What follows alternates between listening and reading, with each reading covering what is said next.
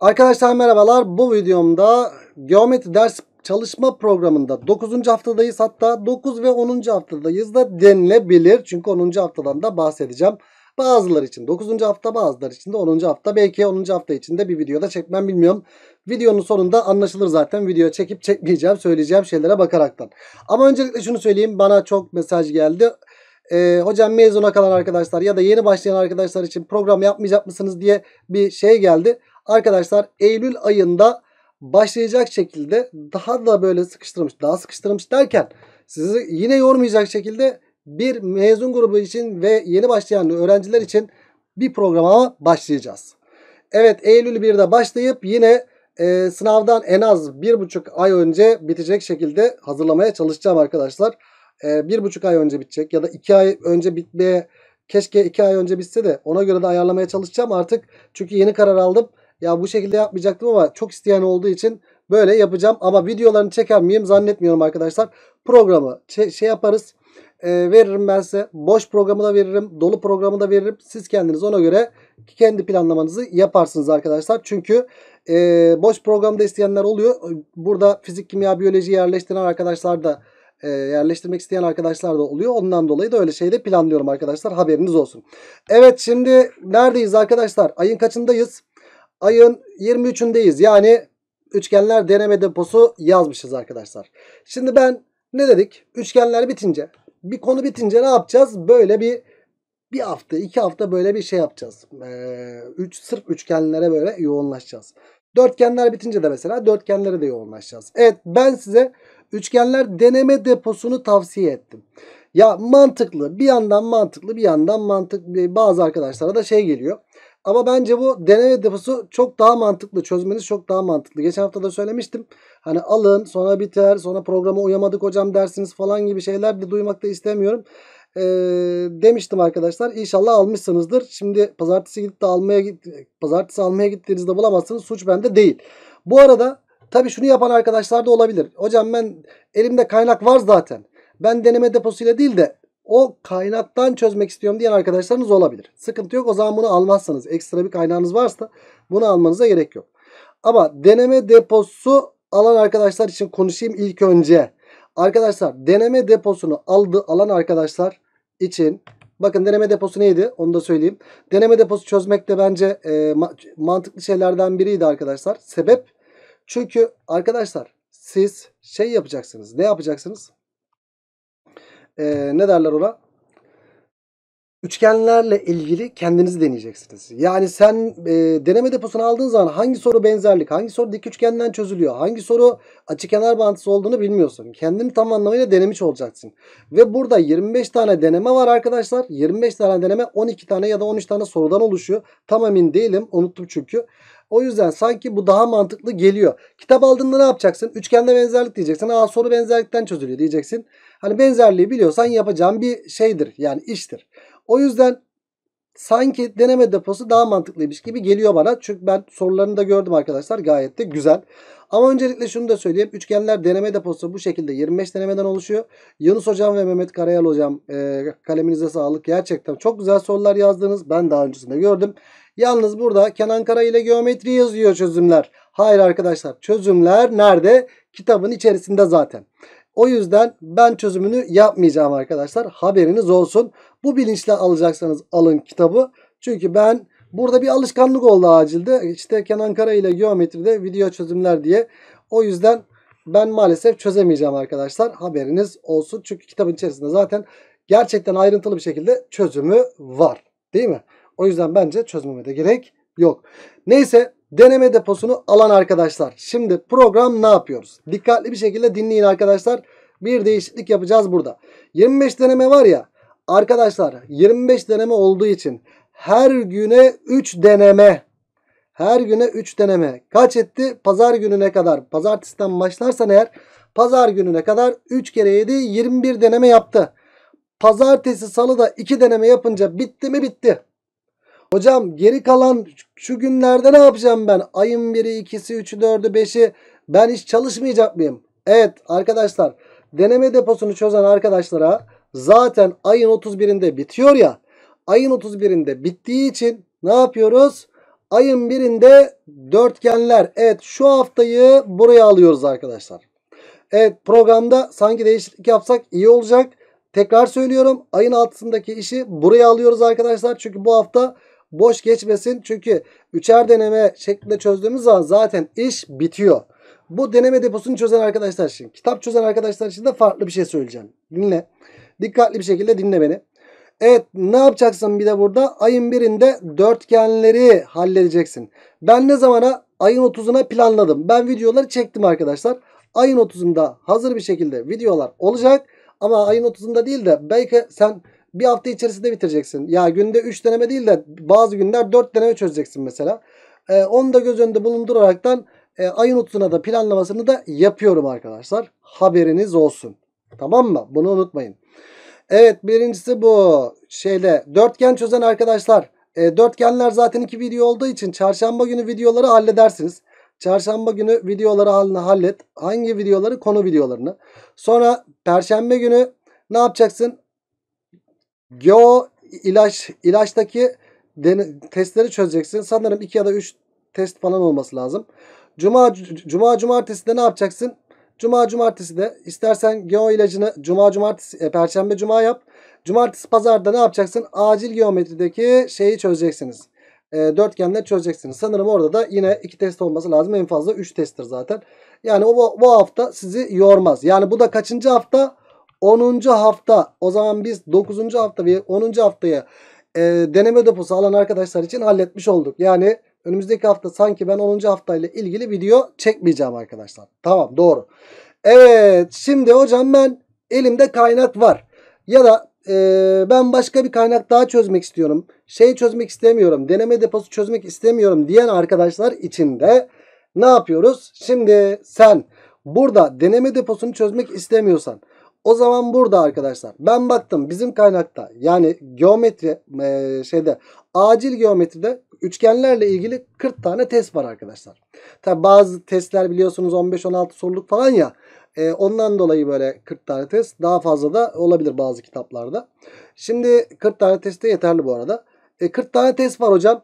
E, sen zaten 40 tane testi günde 4 tane test çözebilecek ihtimalin varsa dene. Bak çözemeyebilirsin. Günde 4 çözebilecek arkadaşlar için konuşuyorum. Zaten 4 tane çözersen 10 günde bitti mi? Bitti. Yani 10 günde biterse o zaman ne yapacağız? Sen bu 10. haftada ne yapacaksın? 10 günde bittiyse burada da 4 tane test çözdün. O zaman sen dörtgenler konu anlatımını perşembeye koy konuyu. E, Cuma'ya ilacı koy. Cumartesiye acili koy. Yine 10. haftayı bu şekilde halletmiş olursun. Tamam. Hiç sıkıntı yok. Hocam ben 4 tane test çözemiyorum. Diyen arkadaşlar. Ben 4 tane test çözemiyorum. Çözemem. Ağır gelir diyen arkadaşlar için de şunu söylüyorum o zaman. O zaman kardeşim sen günde 3 tane test çöz. 3 test, 3 test, 3 test. 3 tane test çözdün mü? Çözdün. O zaman sen bu 3 tane testlerle e, 14 günde zaten 4 kere 12 42 yapıyor arkadaşlar. O zaman hiçbir şekilde şeye girmezsin. Nereye girmezsin? Buradaki olaya girmezsin. Dörtgenleri bu hafta halletmezsin yani. Ne yapacaksın o zaman? 3 tane testlerle sen bu olayı burada bitirdin. Yani bir kitabın testlerini sen üçer test, üçer test çöze çöze ne yaparsın? Burada iki haftada kitaptaki işi bitirirsin. Ondan sonraki hafta ne yaparsın? Dörtgene başlarsın. Ondan sonraki haftada dörtgene başlayan arkadaş iki video var ya. Paraya kenardan da 5 video var. Ondan dolayı bu haftayı birleştirirsin. Yani iki hafta boyunca full üçgenlerle ilgili soru çözen arkadaşlar da bunu yapsın. Tamam seçenek fazla. Bir daha söyleyeyim mi? Şimdi deneme deposunu alanlar günde kaç test? Üçer testle zaten işi hallediyor. Deneme deposunu alanlar 3 kere 21 e, 20, e, burada da 2-2 çözdüğü zaman halletti. Deneme deposunda ondan sonra burada dörtgenleri halledecek. Hocam ben dörder dörder çözmek istiyorum. Herhangi bir kitaptan dörder test çözmek istiyorum derse deneme deposunu almazsa dörder testle de ne yapıyor arkadaşlar? Yine bu haftanın yarısında bitiriyor. Diğer yarısında da dörtgenleri burada bitirebilir yine.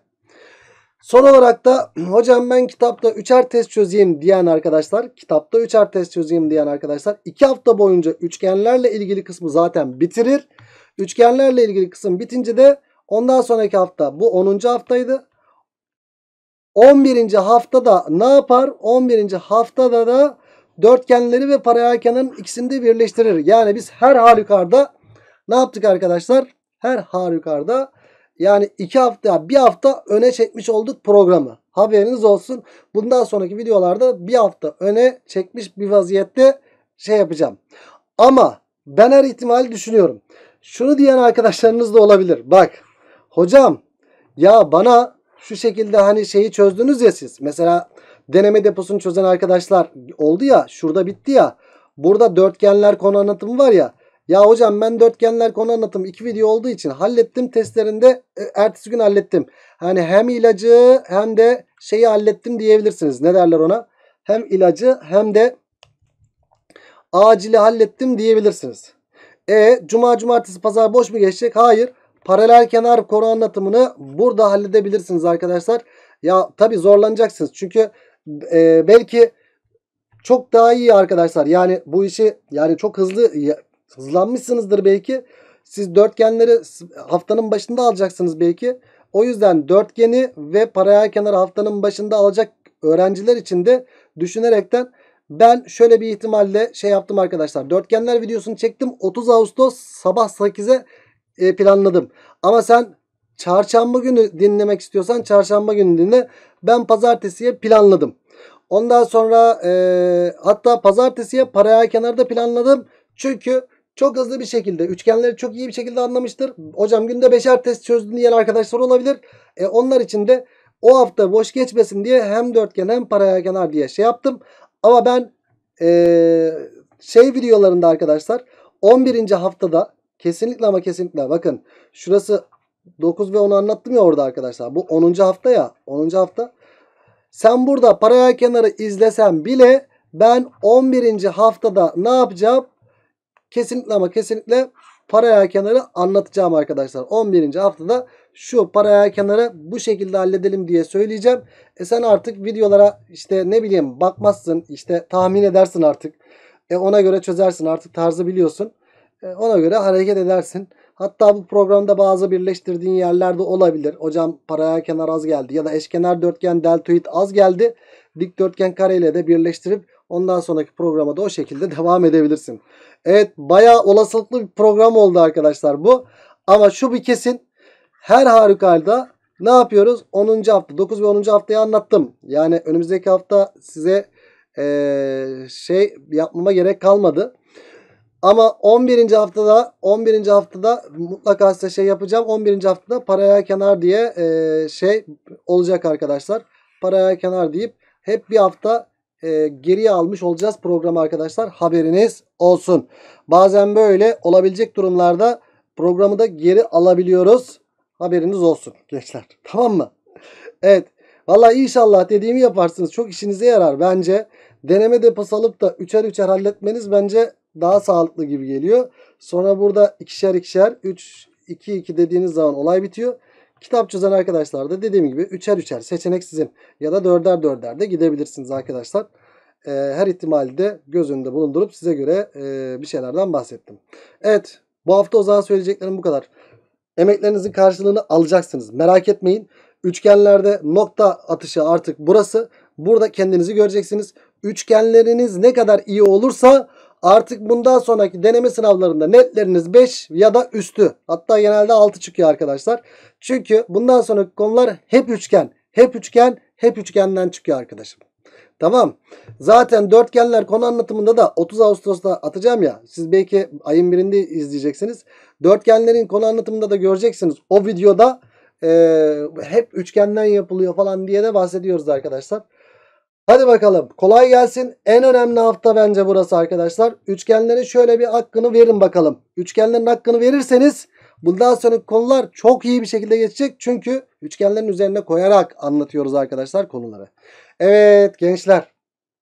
Biraz karışık bir program oldu. Herkesi düşünerekten bir program yaptım. E, detaylı bir program yaptım. Siz aradan seçersiniz ona göre halledersiniz. O zaman ne diyoruz? hayırlı işler diliyoruz. Bol kazançlar diliyoruz.